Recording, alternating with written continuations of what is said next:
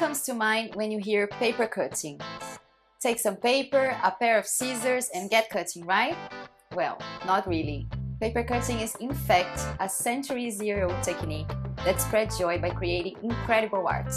It requires knowledge, practice, mad skills and a whole lot of patience. Join me in this unique course as I take you through its beautiful history and cover everything you need to know to become a master paper cutter. Flowers, paper flags, college work, pop-up cards, I got you covered. You'll be playing with depth, perception, negative positive vision in no time. Are you ready?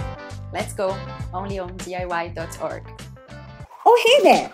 Head on over to DIY.org for fun projects, how-to videos, TV shows, and a global community of kids just like you. Okay, bye!